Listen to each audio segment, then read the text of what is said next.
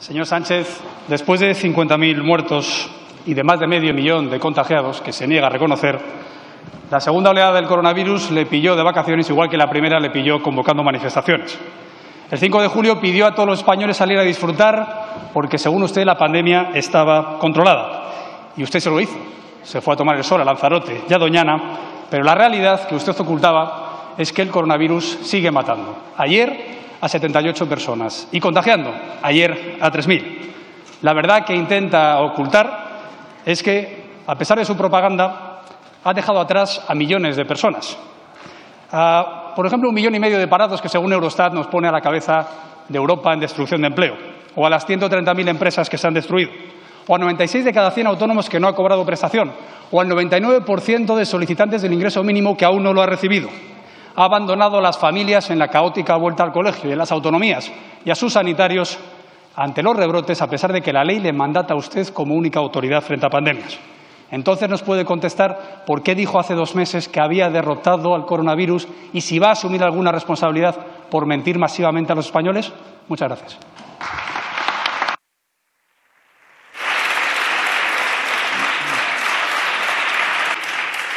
Señor presidente del Gobierno. Muchas gracias, señora presidenta. Efectivamente, señor Casado, gracias al esfuerzo no del Gobierno, sino del conjunto de la sociedad, doblegamos la curva, mantuvimos al virus en la primera oleada más mortífera que sufrió la sociedad española. Lo hicimos en un ejercicio de unidad y en un ejercicio de cogobernanza inédito en la historia democrática de nuestro país. Unidad y cogobernanza es lo que van a hacer de nuevo que dobleguemos la curva de una ola esta segunda ola del virus, que evidentemente es menos letal de la que sufrimos en el mes de marzo y en el mes de abril.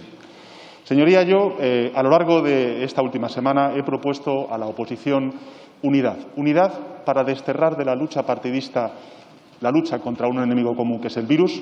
Unidad también para arrimar el hombro, para aprobar unos presupuestos generales del Estado que son necesarios si queremos vehicular 140.000 millones de euros provenientes del Fondo de Recuperación y unidad también para renovar las instituciones en nuestro país. Unidad, señoría, para renovar las instituciones en nuestro país. Eso es lo que yo le propuse. Y lo que he recibido ha sido un no. Y no un no cualquiera, señor Casado, un no absoluto. A mí me gustaría que usted rectificara esa posición, que tendiera puentes y que dejara de bloquear la renovación necesaria de las instituciones constitucionales.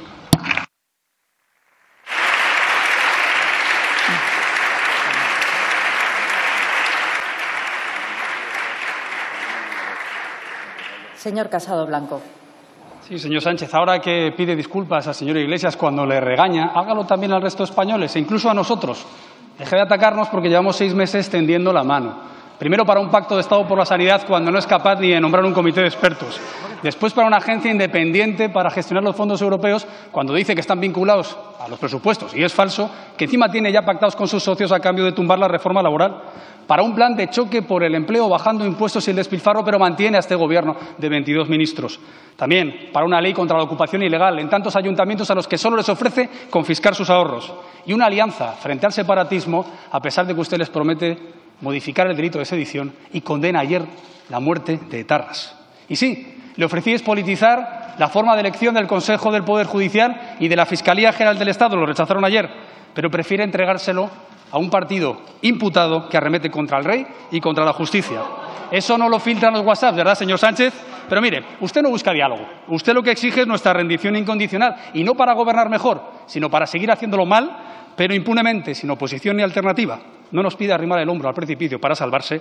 Cuando quiera hacer algo bueno para los españoles, nos tendrá a su lado. Mientras siga perjudicándoles, nos tendrá enfrente.